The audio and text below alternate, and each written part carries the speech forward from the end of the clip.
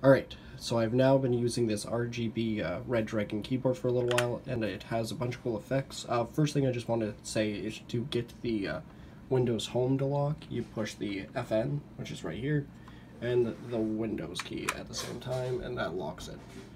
So that way, if you click Windows during a game, it doesn't open. Um, to change the lights, you have these nine buttons here. You push the FN, click this, and each one will do different thing, and if you push it multiple times, it will do different stuff. For instance, so now it does that wraparound thing, click it again, click another one, try this one. So for instance, now if I click it, it will ripple off of each other, which is pretty neat.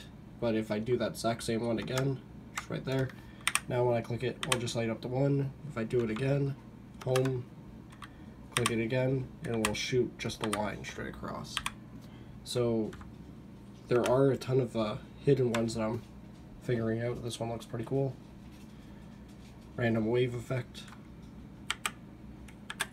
And then the straight up RGB.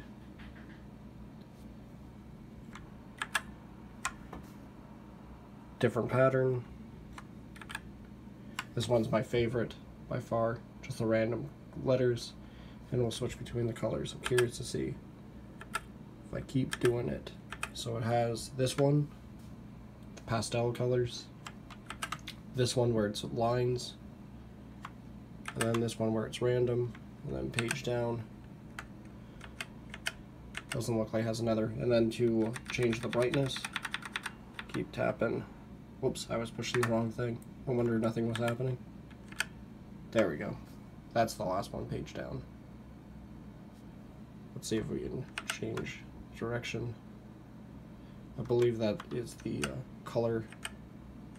Yeah, so it does the full color.